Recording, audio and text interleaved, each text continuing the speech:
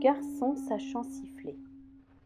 Une histoire écrite et illustrée par Ezra Jack Keats.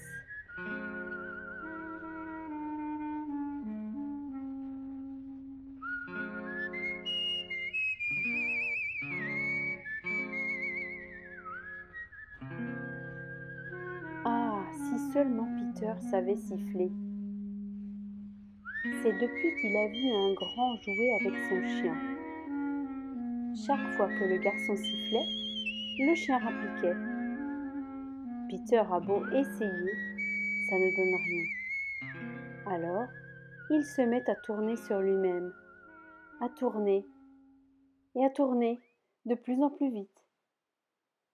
Quand il s'arrête, ça tourne, ça tourne, encore et encore. Mais tiens, voilà Willy.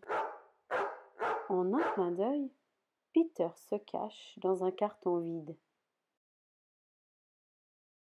Ah, ce serait drôle si je me mettais à siffler. Willy s'arrêterait. Il regarderait partout et chercherait d'où ça vient. Peter essaye de siffler. Mais cette fois encore, pas moyen d'y arriver. Et Willy? Il continue son chemin. Peter est sorti de son carton. Dans sa poche, il y a des craies de toutes les couleurs. Il commence à tracer une longue, longue ligne sur le sol jusqu'à la porte de sa maison. Peter essaye de siffler encore une fois. Il gonfle ses joues, très fort, tellement fort que ça lui fait mal. Mais rien ne se passe. Alors il rentre et il va chercher le vieux chapeau de papa. Il le met sur sa tête pour se sentir comme un grand et devant le miroir, il s'entraîne à siffler. Mais rien. Toujours rien. Quand il voit maman, Peter imite la grosse voix de papa. Bonsoir chérie, je suis rentré plus tôt aujourd'hui. Est-ce que Peter est là Eh non, il est dehors avec Willy. Bon, eh bien, je sors les chercher, dit Peter.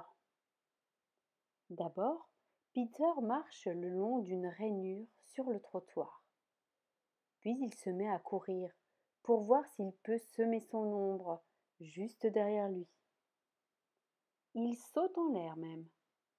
Mais quand il retombe par terre, son ombre est toujours là, collée à ses pieds. Peter est revenu au coin de la rue, là où il y a le carton. Mais tiens, voilà Willy. À quatre pattes, Peter se carapate sous le carton. Il souffle, il souffle, il souffle tant et tant que soudain le voilà qui siffle. Willy s'arrête net et cherche d'où ça peut bien venir.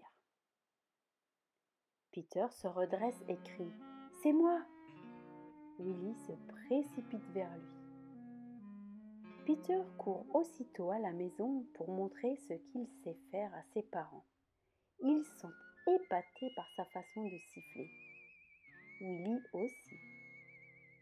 Quand maman lui a demandé d'aller faire une course à l'épicerie avec Willy, Peter a sifflé tout le long du chemin.